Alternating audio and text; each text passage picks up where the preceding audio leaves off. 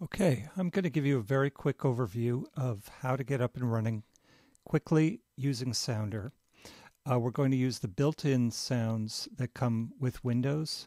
So if you go to Settings, under MIDI, you'll see the Microsoft Wavetable Software Synth.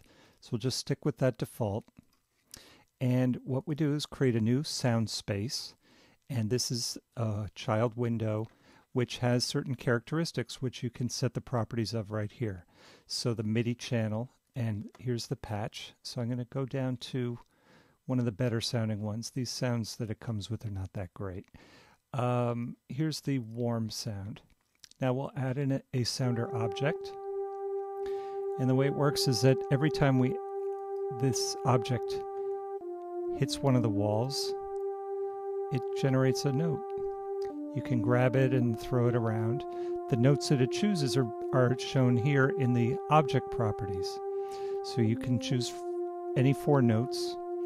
Uh, but then what gets interesting also is you can choose the octave that it'll play and add some randomization, as in go up or down an octave from octave 4. Maybe change the volume will change with each with each hit. Um, now, if we launch a second object within the same window, it will have the same sound patch, but uh, its own notes and its own range that we could choose if we want to. Okay, then if we launch a second window or sound space, this one can have its own patch, so I'll go with something else such as, uh, let's try choir.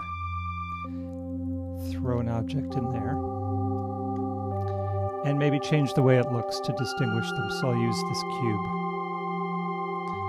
Okay, now changing the size of the window affects the rhythm or the, the way that it'll play, right? Because of the uh, the shape determines how and when it will strike the walls. I think I'm going to stop there. That's just a very quick overview how you can get a sounder piece going in almost no time. By the way, if you were to save this piece, it takes up all of about 40 or 50 bytes. Uh, but the music will go on playing for hours and hours without ever repeating. Okay, hope you liked it, and uh, check out the free demo at www.sounder.com. And in other videos, I will show how to get much more uh, great sounding sounds from Sounder by hooking it up to programs like Reason and Ableton Live. Bye bye.